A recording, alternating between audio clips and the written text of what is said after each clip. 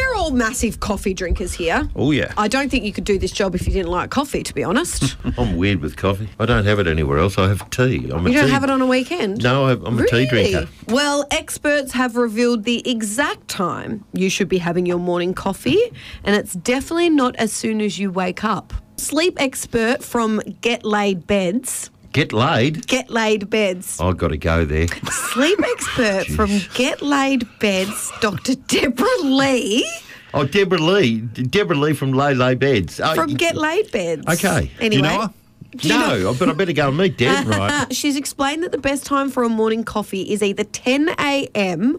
or if you get up earlier than that, um, at least 45 minutes after you get up in the morning. Perfect. Oh, yeah. Perfect. That'll, that'll be Perfect. what I do, yeah. Oh, okay. Well, What about you? I'm a good five minutes.